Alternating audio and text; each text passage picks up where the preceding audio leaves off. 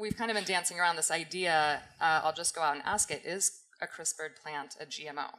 My definition of GMO is actually looking at what is the word actually. If you if you say what does it stand for, it stands for genetically modified organism. So is in my mind every plant that we actually grow for food is genetically modified by humans because you go back to domesticated plants um, if you look at wild maize for example as opposed to domesticated maize it looks nothing like what domesticated maize is now. It has a few grains to it. It's called teosinte. You don't actually see grains that actually look like corn kernels.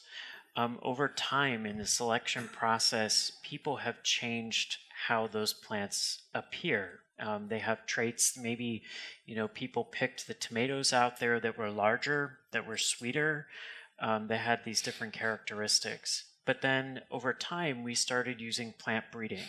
And so, where you cross two different plants together that might have different traits you're interested in, and the goal is is that you combine them in in one final plant. So, you know, that's that in my mind is also human um, genetic modification of plants. So, if that is, then transgenic technology is, and so is so is CRISPR. Usually, so GMOs, that's a very broad definition of GMOs. Most people will probably be thinking of transgenic, though, right, when they hear that term? When they hear, the tra- when they normally hear it, they're thinking transgenic. And therefore, you know, CRISPR, when you're using it to create a deletion, um, for example, you're removing DNA, you're removing genes, you could do those same things um, by a random mutagenesis, or you could do it by crossing. What's that mean?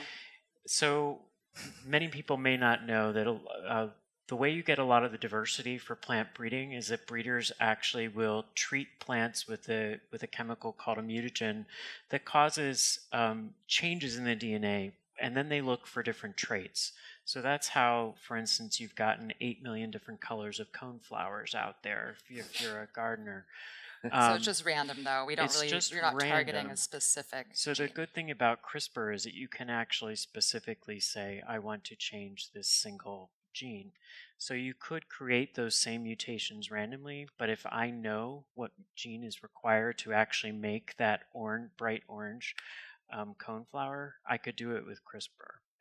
So it's just another way of changing things, but we could do both without using transgenes, without using foreign DNA. So by that definition, it wouldn't be a GMO.